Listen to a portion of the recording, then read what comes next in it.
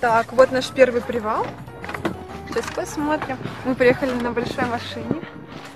Я, наоборот- Я наоборот включила ее. Да. Так, да. Вот на такой приехали машине. Вот наша команда.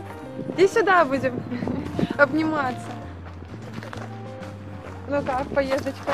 Ой, я в предвкушении. На самом деле такие краевиды. Мне, правда, сказали, Катя, что будет опасно. Чуть-чуть совсем. Чуть-чуть опасно. Ну, Да. мы привыкли к опасности. Да.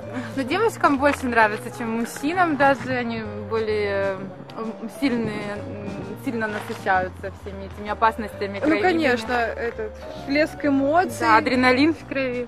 Мы скоро станем наркоманками адреналиновыми, поэтому мы уже ждем с нетерпением. А вот там сама гора Демерджи. Вот Я уже рассказала, да, там сегодня сказали, что погода очень классная, потому что облака некоторые прикрывают гору, а некоторые вообще туда, располагают. пока никто не едет, там немножечко видно даже вот эту долину привидений. Вот если вы присмотритесь, вот гряда эм, скал А, на этом массиве, вот это и есть долина Лучше посмотрите на наши джипы. Посмотрите, на чем мы Да, едем. кстати, да.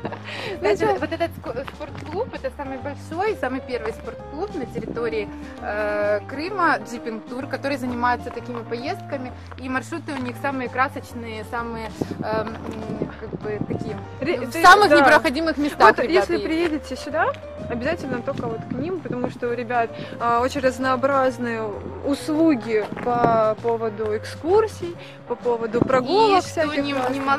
Немаловажно, у них не было э, ни одной какой-то критической ситуации, либо ни одного какого-то прокола. То есть них все экскурсии проходят э, э, в безопасном режиме, хотя э, маршруты такие Очень э, душещипительные. дуще- ущипительные душу из Хэлла. Ну все, будем подниматься?